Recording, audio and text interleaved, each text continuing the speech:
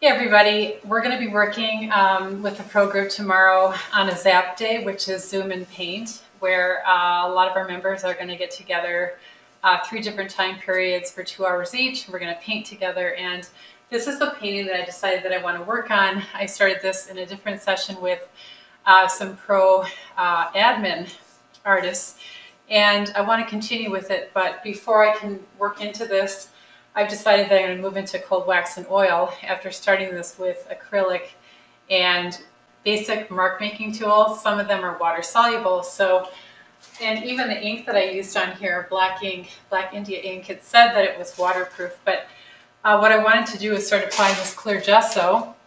And when I started to put it on there, it started to, uh, the ink started to come loose. And you know what that's like when you've got water soluble things on there and they start to smear. So in order for me to stop this from smearing before I move into cold wax and oil and putting on this, you know, a lot of the clear gesso, I'm starting to just put on thin bits of clear gesso using wax paper. So I just wanted to show you how I do that. I get a sheet of wax paper like this and then put some of the clear gesso on there. It doesn't actually have to be clear gesso. It could actually be polymer medium or anything to really lock in the marks that are water soluble. Uh, so in this case, so I'm the reason I'm putting on wax paper so I can see through it and I can gauge how thick this is. The idea is to put on an initial thin layer of this and lock in those uh, water soluble dry marks and the ink so that I can then put on a little bit thicker layer of this Liquitex Clear Gesso and move into cold wax and oil tomorrow. So I'm just putting this on the wax paper and then I just lift it up and find an area. I've already done like this section here. So I'm going to start at the top like this and just press it down without moving it. And because it's wax paper, I can see through it and I can make sure that, you know, there's no funny texture going on with the clear gesso. I can move my hand like this get all the bubbles out. And you know, I don't want to manipulate it too much. I just want to get a layer on here and then lift this off.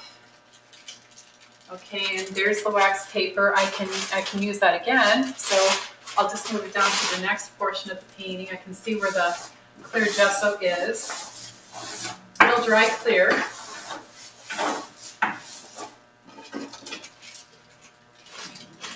Keep doing that until I run out of the clear gesso on the wax paper.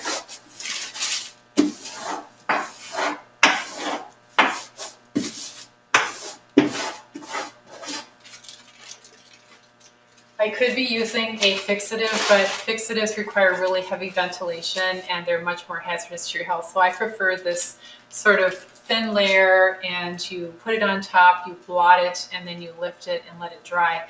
And if, if it takes multiple layers, you always want to test it before you go in with anything that might be like acrylic that might make some of these um, water-soluble dry marks run or blur. Uh, so it's just good to test it before you're actually ready to go back into your water media. So I hope that helps. I'm going to uh, treat the entire surface like this.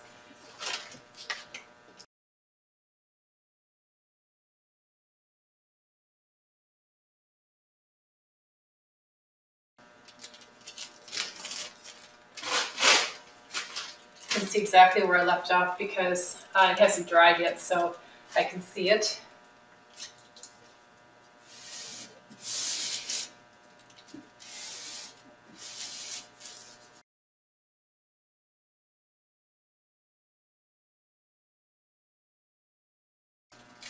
And you can see on my wax paper here,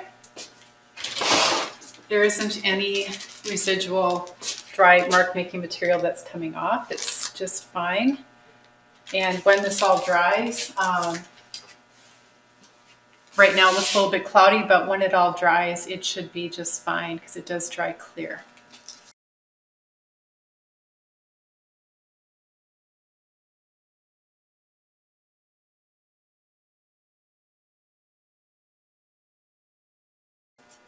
You don't have to use wax paper. You could use freezer paper, the shiny side.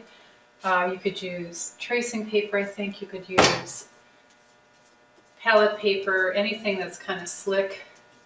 But I, I don't, anything without texture because when you apply this, you don't want to have like the texture of a paper towel or something like that. That's why I like the smooth surface of wax paper and being able to see through it a little bit. It's all good.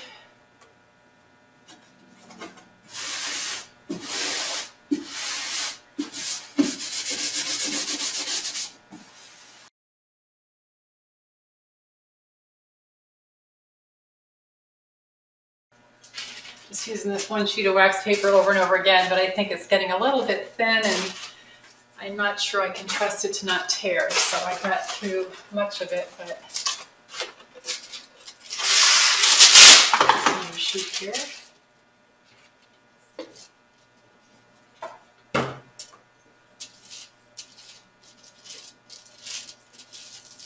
And again, you could be locking this in with polymer medium. You don't have to use uh, gesso, clear gesso, but I'm using clear gesso because I'm going to be moving into cold wax and oil with this painting.